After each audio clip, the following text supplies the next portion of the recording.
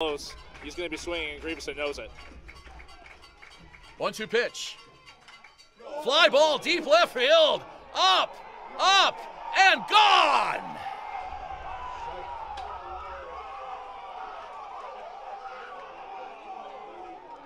One swing from Carlos Martinez.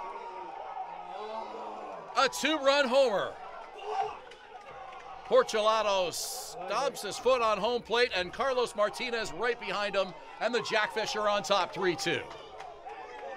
This crowd is stunned here at Vintage Throne Stadium, and for good reason. Carlos Martinez had not hit a home run for the Jackfish this year until last night.